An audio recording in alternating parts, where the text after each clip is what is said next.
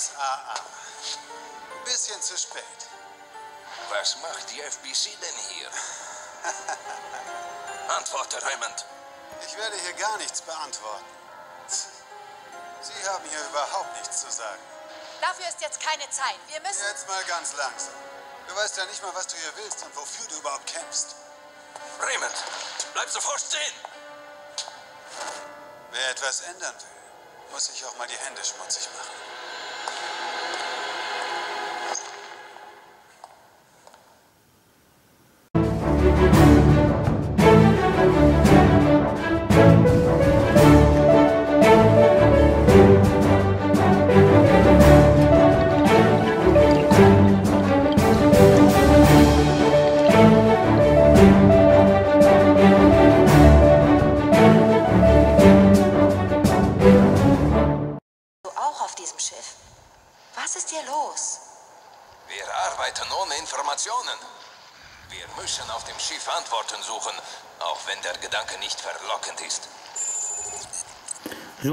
Liebe diese Zwischensequenzen. Auch die äh, Zwischendialoge zwischen Jill und Parker oder den anderen Charakteren. Da verzichte ich auch gerne mal auf meine Moderation.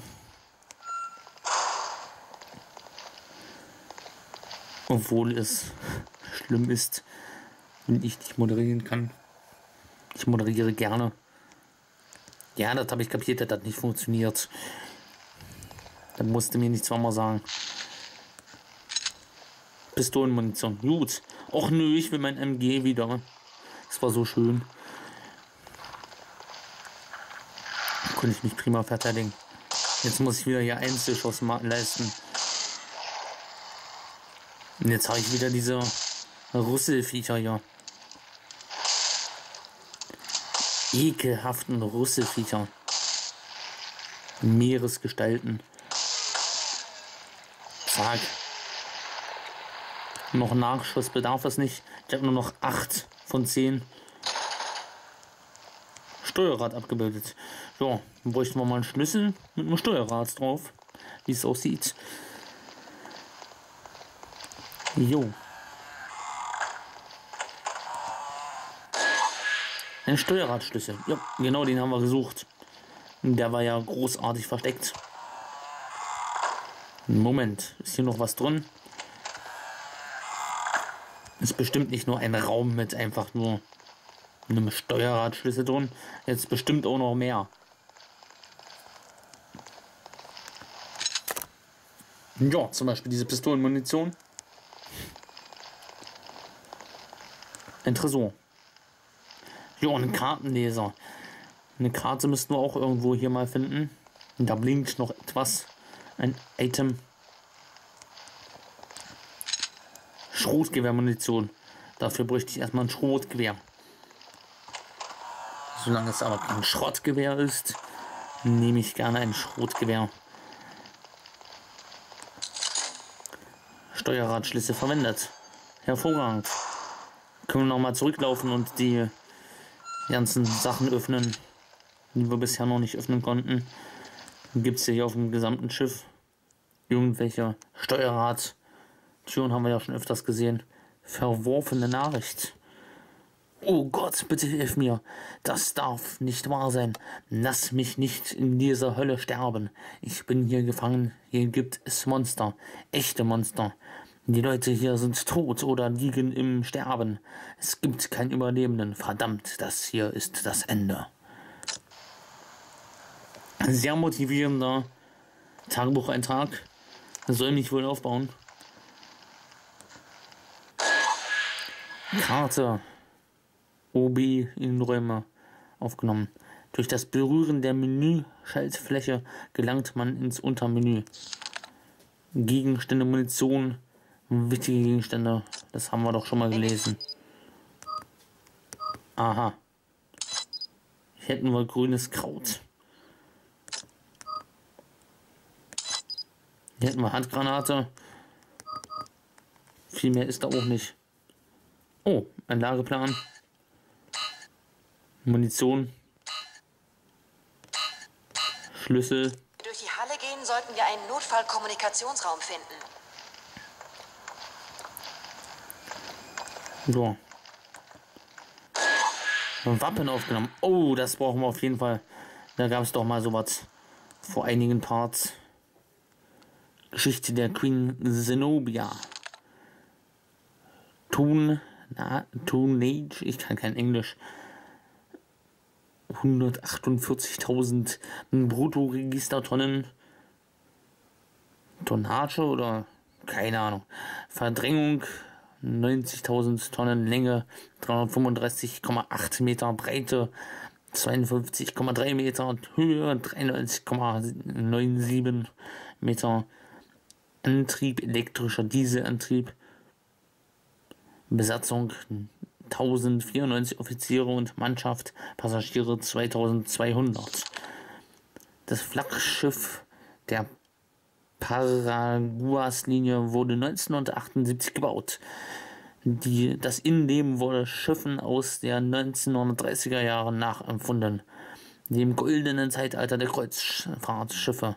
Das Design basiert auf Entwürfen der George George Trevor, wird das vermutlich ausgesprochen, vor seinem Verschwinden hinterließ. Zeitungen aus der Zeit, als das Schiff gebaut wurde, berichten von den Aufzeichnungen, die das Design erhielt. Und das Schiff ist nach Zenobia benannt, die Königin des Reichtums, Palm, äh, des Reiches Palmyra, die vom römischen Reich enteignet wurde. Die, die namensgebende Schönheit der Legende wird auch das Schiff die Perle des Atlantiks genannt und ist bis heute eines der populärsten Kreuzfahrtschiffe, die im 20. Jahrhundert gebaut wurden. Als Flugreisen die Popularität langer Seereisen verk verkümmern ließen, ich wollte sagen verkrümmen, aber verkümmern heißt es wirklich, schien in den 80ern die Queen Zenobia wie auch ihr Schwesterschiff reif für die Abwrackwerft. Zum Glück wurde sie von der Paraguas-Linie erworben. Ihre Dampfturbinen wurden durch ein elektrisches Dieselantriebssystem ersetzt. Laderaum und Kabinenbereich wurden vergrößert. Das Schiff mit neuester Technologie ausgestattet. Die Queen Zenobia wurde wiedergeboren als voll funktionstüchtiger Luxusliner. Nach der Restauration brach die Queen Zenobia auf eine Weltreise. Im Anschluss umschweifte sie Südamerika und erlebte viele weitere Fahrten. In Zukunft wird das Starthafen für ihre Afrikafahrten im Mittelmeer liegen. Die Queen Zenobia wird noch wird für viele Jahre ihre Passagieren viele Freunde bereiten. Die Geschichte der Queen Zenobia Ausgabe 1995. Ja. Oder wird es halt nicht tun, wenn sie von Zombies und anderen Ungestalten belebt wird. Und er lebt bestimmt auch noch. Hm, lecker. Maden. Muss ein qualvoller Tod gewesen sein. Ja. Schauen wir uns noch, schauen wir ihn uns noch mal an. Noch. Kein Zombie. Der bewegt sich nicht. Ich könnte wetten, dass das ein Zombie ist. Schieß auf seinen Kopf. Nee, ich will ja keine Leichenschändung machen, also lass mal lieber nicht drauf schießen. So bin ich ja nicht. Ich hätte jetzt zur Sicherheit mal drauf geschossen, dass das Ding uns nicht angreift. Aber ihr seht ja selbst, dem kriechen schon aus jedem Loch Maden. Das, der kann ja gar nicht mehr leben. Nicht mal als Zombie mehr. Oder doch? Kann ein Zombie. Kann ein Zombie mit Made noch leben? Und wohin gelangt man in den Kommunikationsraum? Ist das der Kommunikationsraum? Sieht nicht wie einer aus. Nur aber hier ist noch so eine Baufalle. Noch eine Baufalle. Können wir werfen mit X. Mit R und X. Rix. So. Hier entlang. Ja, das funktioniert nicht. Aber da müssen wir scheinbar lang. Ja, habe ich mitgekriegt. Und wieder dort zurück. Weiß nicht. Vielleicht. Gut, wir müssen Raymond finden. Den haben wir doch gerade gehen lassen. Und der Arbeit. Belassen wir es dabei. Können wir hier dran? Nö, das ist komplett zerstört. Da können wir nicht ran. Kann ich mich da draufsetzen? Nö. Kann ich das Schiff leiten? Nur wieder zurück. Hier waren wir doch überall schon mal. Tja, gehen wir noch mal zurück. Dann grüßen wir noch mal die Monster. Schuss daneben. Perfekt. Hab's ja schon mal gesagt. Schüsse daneben sind immer ultimativ für Resident Evil. Das sollte man immer machen. Ordentlich daneben schießen. Hm, Wie es sich gehört.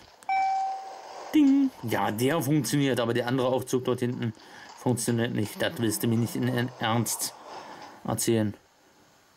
Ich gehe mal zu den oberen Kabinen.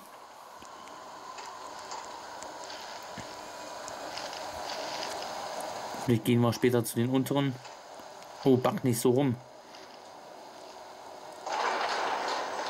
Jo. Speichervorgang, das scheint richtig zu sein. Und was hier? Ach so, da habe ich mal, da habe ich mal ein kleines Türchen gesehen. Das können wir, glaube ich, jetzt öffnen. Und wenn ich nicht komplett falsch liege, da, da können wir jetzt durch. Da konnten wir vorher ja nicht durch.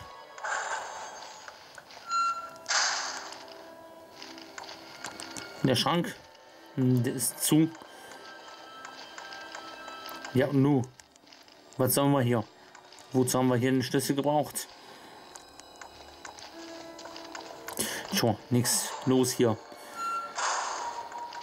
Müssen wir wohl, wohl die Türen nehmen, die wir auch so hätten gehen können. Und hier so. Hier waren wir schon. Jo, alles bekannt. Sind wir bereits durchgelatscht. Finden wir also die Türen, die wir noch nicht geöffnet haben. Achtung, Monster, da steht auch einer von diesen Billies. Schieß doch nicht daneben, Parker. Vergeude nicht deine Sinn. Hast du mich gerade angeschossen? Ach nee, das ist der Willi hier. Deshalb schießt er also. Tja. Jetzt werde ich ja von beiden Seiten angegriffen. Vielen Dank auch.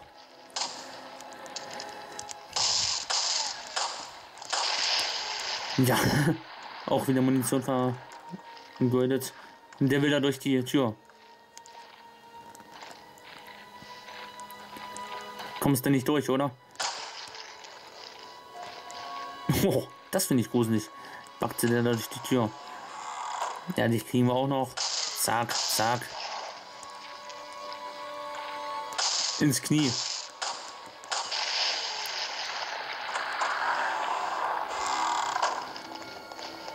So. Hier ist eine Einbahnstraße. Genau genommen ist das eine Sackgasse. Einbahnstraße hieß, äh, wir dürften nicht wieder zurück. Das wäre bei einer Sackgasse ganz schön dämlich. Eine Sackgasse und eine Einbahnstraße auf einmal. Das wäre ganz schön nicht so gute Anlage der Regeln. So. Jetzt sind wir hier. Achso, ja, nochmal heilen. Schadet nicht. So, irgendwo war doch hier diese, dieser Münzteller, wo wir was reinlegen mussten. Irgendwo war da was.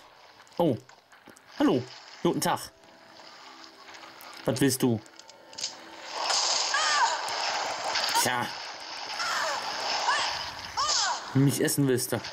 Tja, das kriegst du nicht. Ach so, hast einen Freund mitgebracht. Warum sagst du das nicht? Verrätst du mir nicht, dass du mit Freunden da bist? Musst du mir noch nicht verheimlichen. So. Ein Tellerraum. Ah. Dein Papa. Der sieht immer ganz schön komisch aus. Ist wohl eher der Onkel. Ganze Familie hier unterwegs. Und da kommen wir nicht rein, da brauchen wir Ankerschlüssel. Oha. Para, nicht so plötzlich. Ich dachte, du wärst ein. Du wärst einer von diesen Willis. Oha, du siehst gefährlich aus. Komm mir nicht näher, komm mir nicht zu nah. Komm mir nicht zu nah. Du bist aber leicht besiegbar. Etwas zu leicht vielleicht. Oha, da kommen wir durch. Oh, gut gesichert. Sehr gut gesichert. Darum, was wohl dahinter sein mag.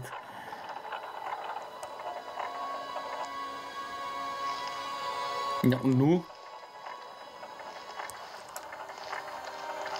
Und dreht sich weiter. Oha, ein neuer Korridor.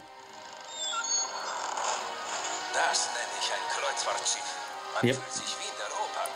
Wie bei der Titanic. Wo ist denn dieser Notfallkommunikationsraum? Oh, hier haben wir wieder eine Sicherungstruhe. Können wir wieder was ablegen. Ich glaube, mein Inventar ist leer genug. Ich kam gerade damit zurecht. Bin gerade so zurechtgekommen. Ich muss noch nichts ablegen. Aber gut zu wissen, wo es hier lang geht. Gitter ist verschlossen. Auf ihm ist ein Rettungsring abgebildet. Okay, das können wir später freischalten. Und was hat er? Stimmt, da steht was. Vor dem Notfallkommunikationsraum hinterlassene Notiz. An der Tür klebt eine Nachricht. Das ist der Notfallkommunikationsraum. Ohne meine Erlaubnis und ohne meine Schlüssel kommt hier niemand rein. Wenn Sie hier hinein wollen, finden Sie mich wie gewöhnlich, wie gewöhnlich auf dem Promenadendeck. Im Kommunikations Ihr Kommunikationsoffizier. Darunter ist eine handgeschriebene Bemerkung. So ein Müll, das Schiff wimmelt vor Freaks und Monstern. Ich gehe zur Promenade, da finde ich wenigstens Essen. Wer noch am Leben ist, kann mich dort antreffen. Ihr wisst, wo ich ihr mich finden könnt. So leicht trete ich nicht ab. Verlasst euch darauf. Hoffentlich bin ich der Einzige, bin ich nicht der Einzige, der überlebt hat. Irre freundlicher euer freundlicher Kommunikationsoffizier. Das Promenadendeck ist neben der Halle. Gehen wir. Wir sollten den Schlüssel finden können, den wir brauchen. Auf geht's. Ich würde mal sagen, finden wir den Überlebenden. Ich befürchte allerdings, dass er nicht überlebt hat. Dass der schon tot ist. Der wird es nicht lange geschafft haben. Ist ziemlich geräumig hier. Hier können viele Untote rumlaufen. Funktioniert nicht. War mir fast klar. So, aber wie komme ich zu diesem Raum?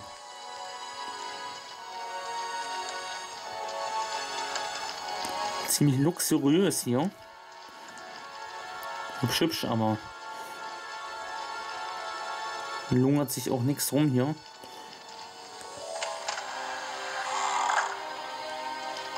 Müsste trotzdem irgendwie zu diesem Räumchen kommen. Wird alles durch solche geheimnisvollen Türchen geöffnet. Und dreht sich das so eine halbe Stunde lang.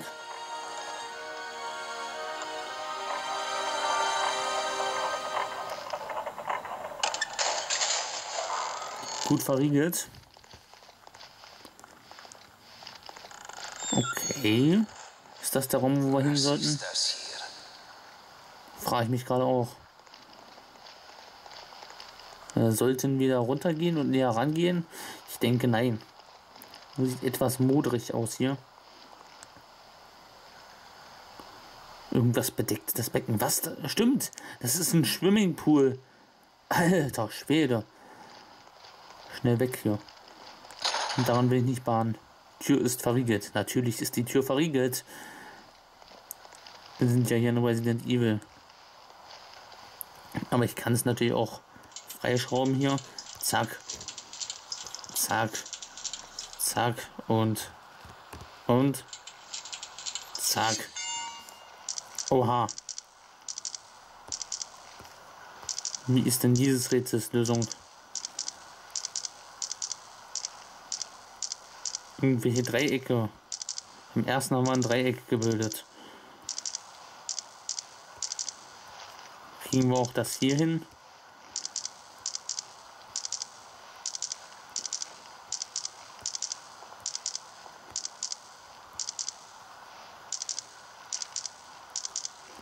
Dass alle verbunden sind.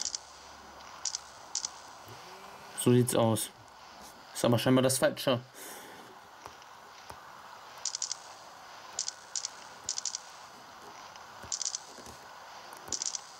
Jetzt ist da noch ein Feld frei. Zack. So ist richtig. Darf ich mal kurz zeigen? Nö, darf ich nicht. Ich wollte gerade runter auf den Bildschirm, aber oh, müsst ihr halt selbst lösen. Das Rätsel ist auch nicht so knifflig. Braucht man vielleicht ein bisschen länger, aber hier kann man die Reinigung des Beckens initiieren. Äh, ja, eigentlich nicht, aber machen wir's und los geht's. Das ist bestimmt irgendein riesiges Monster. Und mit dem wir uns jetzt anlegen. Spezialzubehör. Ich habe nicht wirklich Munition, oder? Fünf Schuss habe ich. Na, wenn das mal. Wenn das mal nicht gefährlich wird. Das Filtern wird eine Weile dauern. Hätte ich wissen müssen. Ich komme später wieder. Okay. Soll ich dann hier schon mal warten?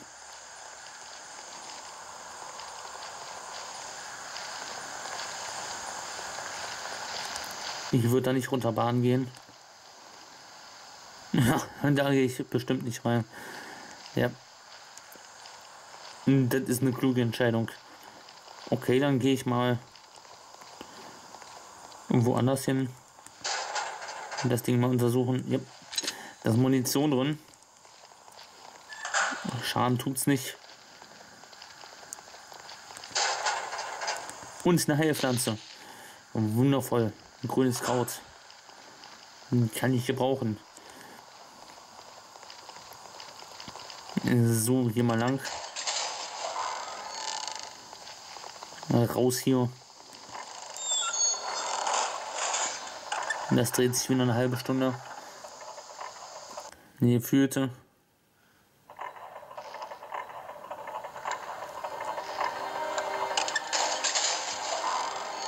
So. Gehen wir mal derweil woanders hin. Und kommen später mal zurück. So. Und wo geht's hier noch lang?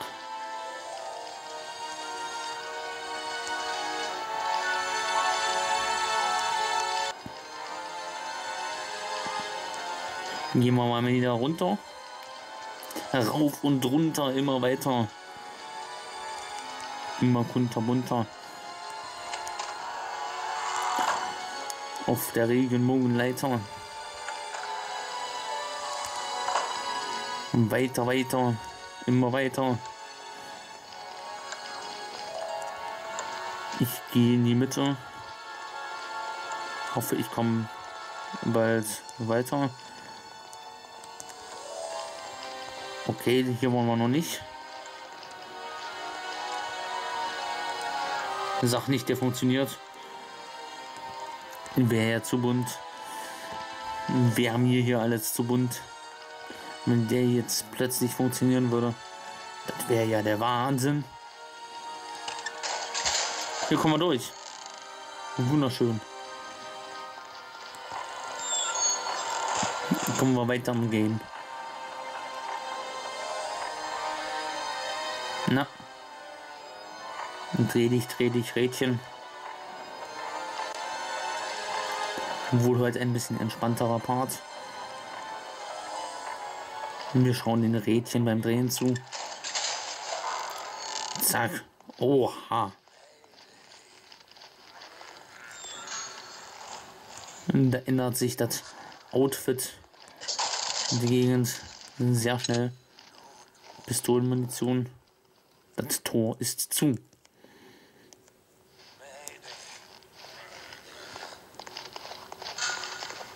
Und wer labert doch dort? Ist das dieser Überlebende, von dem gesprochen wurde?